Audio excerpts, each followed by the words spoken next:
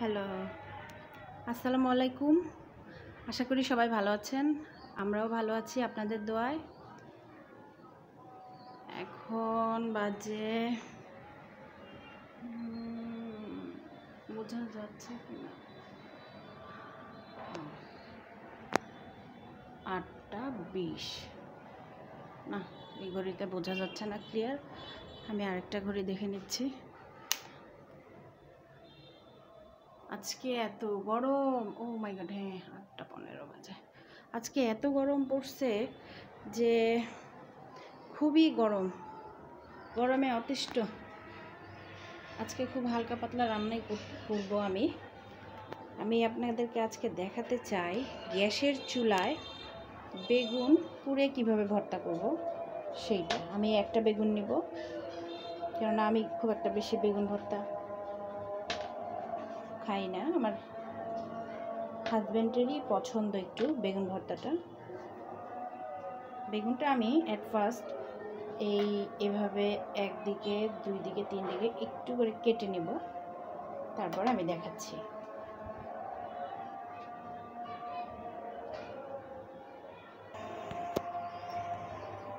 বেগুনটা আমি এভাবে সাইড দিয়ে এরকম করে কেটে কেটে নিছি। এখন হয়তো বোঝা যাচ্ছে না।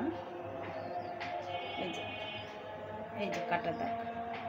হ্যাঁ এভাবে তিন চার দিকে আমি একটু কেটে কেটে নিছি। তাতে করে বেগুনটা ভালোভাবে সেদ্ধ হবে। হ্যাঁ আমি বেগুনটা সেদ্ধ বসিয়ে দেওয়ার জন্য চুলায় এভাবে এক্সট্রা একটা এরকম রাউন্ড একটা স্ট্যান্ড বসিয়ে দিছি। এটা সবার বাসায় থাকে কম বেশি এই এই স্ট্যান্ডটার উপরে আমি বেগুনটা দিছি সরাসরি চুলায় দিলে বেগুন ওভাবে এক সাইডে মানে ভেতরে বেশি ইয়ে হয়ে যায়, আরেক সাইডে কাঁচা থেকে যায়, এরকম হয়। একটু সময় লাগবে, ঘুরিয়ে ঘুরিয়ে করে নিতে হবে আমাকে। আর এখানে আমি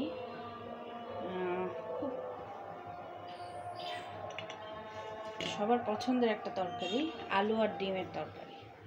আমি আলু আর ডিম সিদ্ধ করতে দিছি। আমরা আগে সিদ্ধ করে নিয়ে তারপরে এভাবে একভাবে রান্না করি। আরেকভাবেও হয়। সেটা আমি আরেকদিন দেখাবো। আজকে খুব গরম পড়ছে।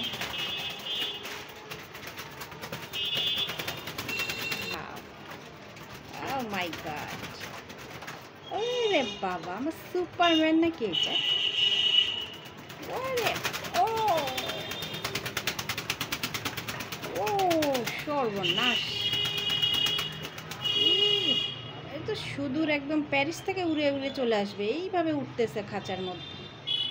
পাখিগুলো গরমে একদম মানে খুব নিস্তীর্ণ হয়ে গেছিল। তোমাদের কি খবর? তোমরা দুইজন।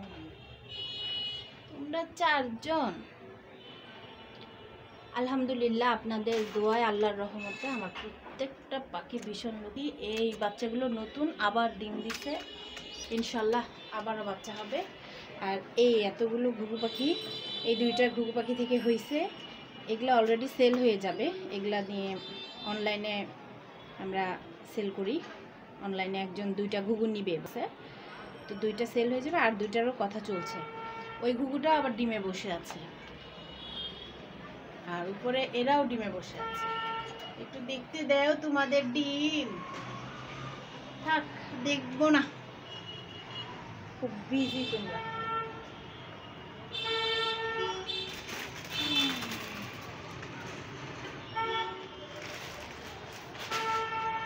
আজকে আমি আরেকটা জিনিস একটু শেয়ার করি আপনাদের সাথে।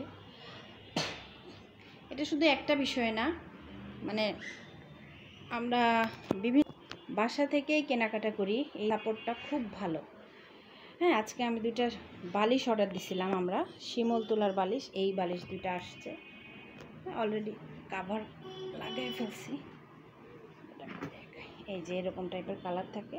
আমরা দুইটা কালার নিছি। এইটা একটা নিছি ব্লু টাইপের ফেরোজা না নীল কি বলব এটা? আর এটা একটা রেড আমাদের অলরেডি ভাগাভাগি করা হয়ে গেছে।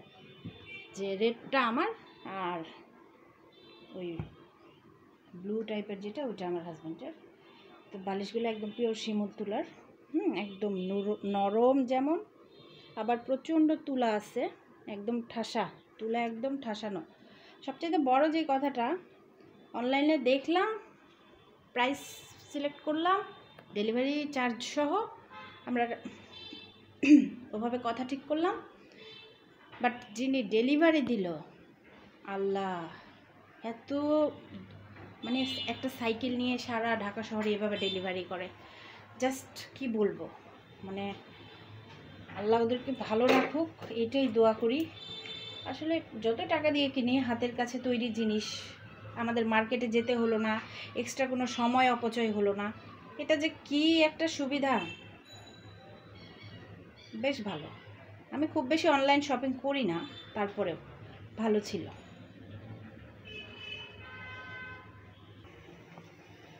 দেখুন আপনারা, এই এভাবে সেট করাতে আমি বেগুনটা ঘুরিয়ে ঘুরিয়ে সুন্দর করে পুড়িয়ে নিতে পারতেছি। এটা একদম সম্পূর্ণ খুব ভালোভাবে হবে। চার পাঁচটা একদম ঘুরিয়ে ঘুরিয়ে ভালোভাবে সেদ্ধ হয় ভেতরটা। আর এখানে আমার ডিম আলুর প্রায় সেদ্ধ শেষ। আমি এখানে এই চাটনিটা রেডি করে নিছি। এটা বেগুন ভর্তার জন্য এই চাটনিটা আমার। এটা আমি হালকা একটু তেল, এখানে শুধু পেঁয়াজ, একটু রসুন আর কাঁচা এই লাল লাল কাঁচামরিচ নিছি। এটা আমি হালকা একটু তেলে জাস্ট অল্প একটু তেলে কুকিং প্যানে আমি একটু ভেজে নিব। খুব সামান্য তেলে ভেজে নিয়ে হালকা হালকা ভাজা থাকবে। ভাজা বেগুনের সাথে ভাজা চাট মানে চাটনিটাও ভাজা থাকবে। এটাই হচ্ছে মেন ব্যাপার। হ্যাঁ ভেজে নিয়ে তারপরে আমি ওটা আবার যখন চাটনিটা সুন্দর মিক্সড করব বেগুনের সাথে ভাজা চাটনি, তখন আমি আবার একটু সরিষার তেল দেব। আপনারা চাইলে তখন একটু একদম চিকন করে কুচি করে কাঁচা পেঁয়াজও দিতে পারেন। বাট আজকে অনেক গরম, যার জন্য আমি আর কাঁচা পেঁয়াজ ওভাবে এক্সট্রা হয়তো দিব না। ভেজে নেওয়া চাটনিটাই দিব। আপনারা ট্রাই করতে পারেন। বেগুন ভর্তাটা এইভাবে ভালো টেস্ট হয়।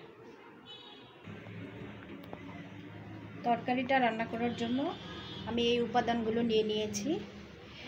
রসুন, পেঁয়াজ আর কাঁচামরিচ। ওখানে একটু দারচিনি, তেজপাতা, একটু জিরা। আর এখানে পাউডার হিসেবে নিচ্ছি হচ্ছে আপনার হলুদ, মরিচ, ধনিয়া গুঁড়া, জিরা গুঁড়া, লবণ। আর এখানে আমি অল্প একটু পাঁচ ফোড়ন যেটা যে পাঁচ ফোড়নগুলো আমরা ডাল তালানি করতে ব্যবহার করি জাস্ট একটু নিচ্ছি জাস্ট শুধু একটু ফ্লেভারের জন্য। এই যে আমি ভর্তার যে চাটনিটা, এরকম হালকা নামে নামে একটু তেলে এক চিমটি লবণ দিছি একটু। যে কোনো চাটনি ভাজার সময় একটু লবণ দিলে চাটনিটা নিজে নিজেই টেস্টি হয়ে যায়। হ্যাঁ এবার ভেজে নিব। আমার চাটনি ভাজা প্রায় শেষ। এখন আমি তরকারিটা, এই যে আলু ম্যাশ করে নিছি। ম্যাশ করা আলু আর এই যে রান্নাটা করি। এই ডিমগুলো আমি এভাবে একটু গুঁড়া গুঁড়া মরিচের গুঁড়া, হলুদ গুঁড়া একটু লবণ দিয়ে এভাবে তেলে ভেজে নিচ্ছি। একটা গল্প আমার মনে পড়ে গেল। আগে ছোটোবেলায় এই ডিমের তরকারি এভাবে আম্মু যখন রান্না করতো, তখন কোনো ডিম এরকম একটু হালকা ভেঙে গেলে মানে ছিলতে গিয়ে অনেক সময় এরকম হয় না? তো এরকম যদি কোনো ডিম হতো, আমি জীবনেও সেটা খাইতাম আমি বলতাম, ভাঙা ডিম খাব না আমি, গোটা ডিম খাব। তা আম্মু সব সময় টেনশানে থাকতো। আমার শুনে শুনে আমার বাসায় আরেকজন ছোট সদস্য ছিল।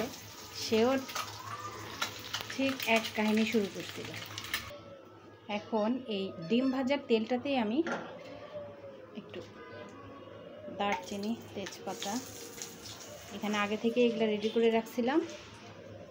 এই ফোড়ন দেওয়া সব কিছু দিয়ে দিব। একটু জিরা।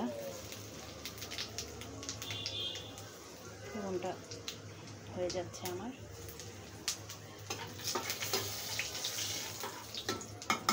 এখন দেব একটু আগে থেকে রেডি করে রাখা এই কাঁচামরিচ রসুন আর কেটে রাখা পেঁয়াজ, এগুলা দিয়ে দিই এই মশলাগুলো সুন্দর করে ভেজে একটু পানি দিয়ে কষিয়ে কষিয়ে নেওয়ার পরে আমি গুঁড়া মশলাগুলো ঢেলে দেব। একটা বিষয় লক্ষ্য রাখতে হবে, যে কোনো তরকারি বা কিছুতে তেজপাতার কালারটা যেন এরকমই থাকে। দারচিনি আর তেজপাতাটা যেন এরকম মানে হালকা ভাজা ভাজা থাকে। কারণ অনেক সময় এটা কালো হয়ে যায় গরম তেলের কারণে। কালো হয়ে গেলে ওটা একদম পুড়ে যায়। হ্যাঁ এখন দেখুন এই পাঁচ ফোড়নটা কিন্তু আমি এখনই দিব এই মশলাগুলোর সাথে। পাঁচ ফোড়নটা আগে দিলে এটা পুড়ে যাবে, ভালো লাগবে না। সব কিছু তেলে দেবার পরে একটু পানি দিয়ে এভাবে আমি একটু ঢেকে দিছিলাম দুই মিনিট। তারপরে এভাবে কষিয়ে কষিয়ে এটা যখন আরেকটু আরেকটু কমে যাবে, তখন আমি এই ম্যাশ পটেটোটা এর মধ্যে দিয়ে ওটাকে নেড়ে নেড়ে কষিয়ে নেব। এইভাবে মশলাতে আলুটা আমি কষিয়ে নিচ্ছি। যদি তেলটা কম মনে হয়, অল্প একটু তেল অ্যাড করে নিতে পারেন। আলুটা কষিয়ে নিয়ে আমি একটু এভাবে অল্প পানি দিয়ে আবার একটু কষিয়ে নিব। নিয়ে আবার একটু পানি দেব পরে। যদি প্রয়োজন হয়, স্বাদ মতো আপনারা আবার লবণ অ্যাড করে নিতে পারেন। এবার দিয়ে তৃতীয়বার আমি একটু করে পানি একটু করে পানি দিচ্ছি, একটু করে আবার কষিয়ে কষিয়ে আবার শুকিয়ে আবার একটু করে পানি দিচ্ছি। আলুর তরকারি এভাবে যত কষিয়ে কষিয়ে রান্না করবেন টেস্ট তত ভালো হবে। এখানে যদি কেউ একটু ভাজা শুকনো মরিচ অ্যাড করতে চান টেস্ট আরও বেশি ভালো হবে, গন্ধটাও ভালো আসবে। কিন্তু আমরা অত বেশি ঝাল খাইও না, তাছাড়া এখন খুব গরম। আজকে আমি ওরকম করে রান্না করিনি। একদম এভাবে শুকনো করে ফেলছি। এখন আমি একটু উষ্ণ গরম পানি এখানে দিয়ে, একবার একটু বেশি করে পানি দিয়ে ফুটিয়ে ফুটিয়ে তারপরে এই, আগে থেকে এভাবে ভেজে রাখা ডিমটা অ্যাড করে দেবো।